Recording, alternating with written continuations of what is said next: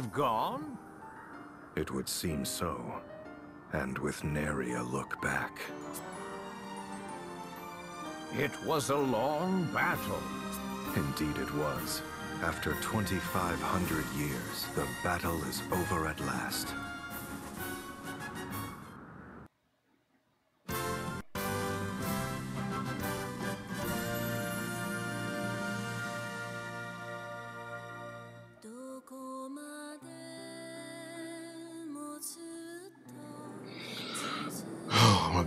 Game is finally over. After endless parts. So here's my take on the game because I'm not doing no big review on it. So this is going to be the review. Uncut honest, right? The game, I began this playthrough back in like 2022, I believe. And I basically just kind of pushed it to the back burner because better games came out and I lost interest in playing Bravely Default. I lost interest in playing it. Um, however, getting back to it uh, this year, it really made me, you know, want to play the the follow up games. You know, Bravely Second, uh, the End Layer, and uh, Bravely Default Two, which I believe came out on the Switch. Uh, both of those games, by the way, I do have, um, and I do plan on doing playthroughs of them for the, uh, you know, saying just for reference. But this story was pretty good. However, I do feel like at times it was drawn out, but it was based on your lack of knowledge of the game. It seems, you know, playing through this and why is that clock glitching? I have no clue. But anyway, playing through this, it really like it can be a love or hate experience. You know, obviously playing through the game, trying to await the crystals the first go around, it really makes you uh, enjoy the journey. However, when you get the crystals and you first fly into that pillar of light and it resets the world, kind of, I'm kind of glad it gives you a chance to go back and get some of the optional jobs that you didn't get a chance to do during your first go around of the crystals. It does give you a chance to get those other jobs. Um, however, the constant, like, if you do all that the first time, the, the feeling of you having to do it like a second time or whatever like that, it does kind of get repetitive and boring, especially when you don't know how to access the final job class that they have available. Because I don't even know what it is. I can assume that it's the quote unquote angel job class or whatever, or maybe it's some something else completely. But I wasn't able to find it, so it, it did get kind of tedious after a while. But as you're awakening the crystals, they give you a certain instruction not to continue to press X, which it turns into like a mini game of sorts where you just got to keep pressing X in order to get the crystal to power up and awaken. But if you keep pressing it past when Airy, the Chris Fairy, tells you to, to stop, then it goes into this uh this dialogue where Airy is trying to warn you and telling you to stop and all that. And it seems that if you do that sooner than later, then you can access the final chapter. Don't quote me on that. That's what that, that's just the educated guess. That's just my hypothesis. Um, because something just told me during that third, um, the after awakening the awakening crystals the second time. It all. It all must begin with me. Oh, she was praying.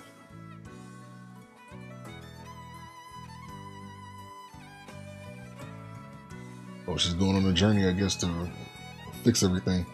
But yeah, during that se- after after awakening the crystals the second time, that third time something just told me to keep pressing X because I, I, I mistakenly did that during the second time awakening the crystals. We've returned, And- Your Highness. I hadn't dared to hope, but the warrior of light returns. A feast! A feast for our hero! Yeah, during the second time of awakening the crystal, I accidentally kept pressing X, and it's like she kind of warned, Airy kind of warned me that the crystal was gonna, you know, something was to happen. So about time that third go round came, something just told me just keep pressing X and see what happens, and just keep pressing it, and that gained us access to the final chapter. So I'm wondering if if you do that earlier, would that give you access to the final chapter right away?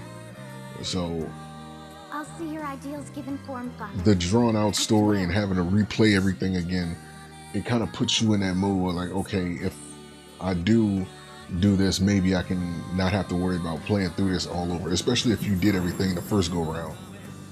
Um, and there's. Or at least that version of him.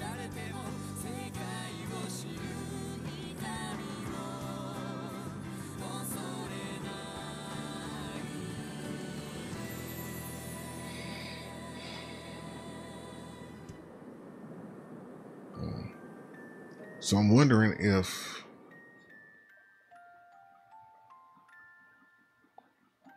Airy ended up like taking away her, taking away Ringabel's memory, and he slowly got it back over time.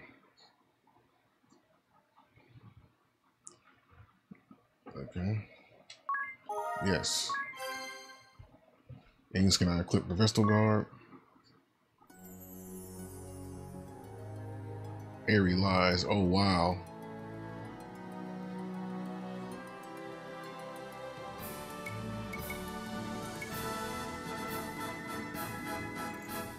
Is a bravely default Airy lies.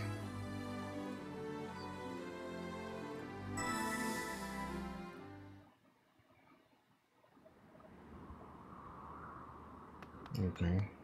So I'm assuming that there's maybe there's like a let me see. Because i just want to know what the what the final job class is. Like we never got any type of confirmation as to what the last job class is. Like we're still missing one. So let me let me just google search. If it's that angel job class then i don't you know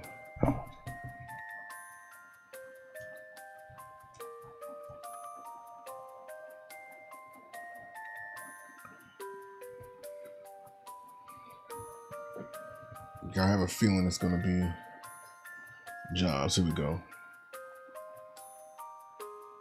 Job classes, merchant, spell fencer, the Blood Rose Legion. We got that. The Black Blades, the Council of Six, a Conjurer. That's the one we didn't get. We didn't get the Conjurer. I, I don't have no clue how to get that. The Conjurer. How do you get this? The Conjurer entertained by defeating Sage Yulyana.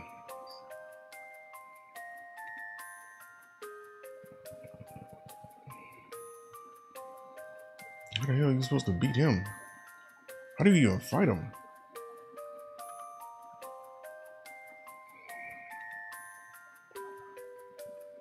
So they don't tell you how to fight him.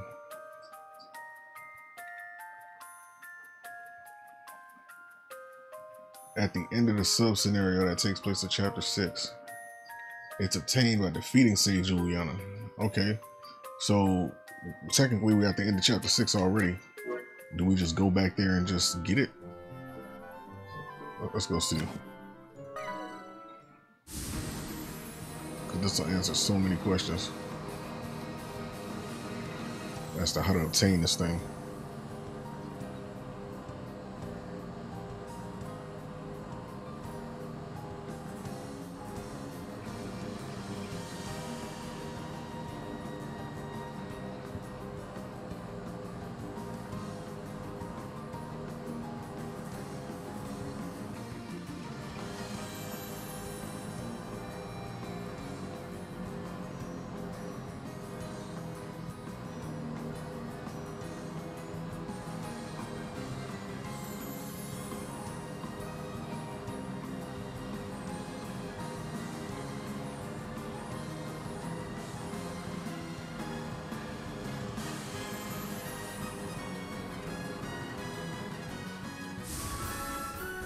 Let's, let's just see if we can get it.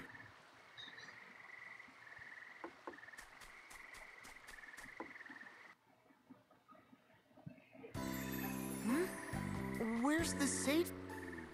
What's the? It's written in his head. I await you at the chamber of the Council of Six in the land with.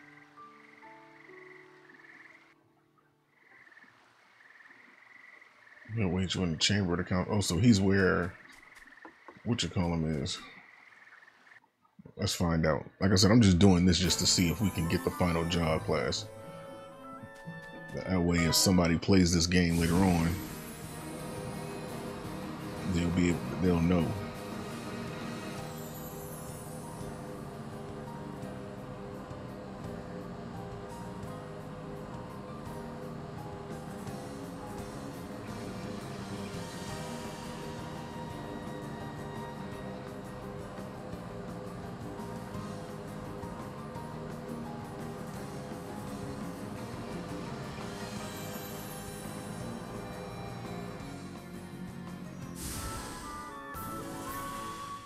Yeah, wait us in the chamber in the council of six. That means we gotta go here.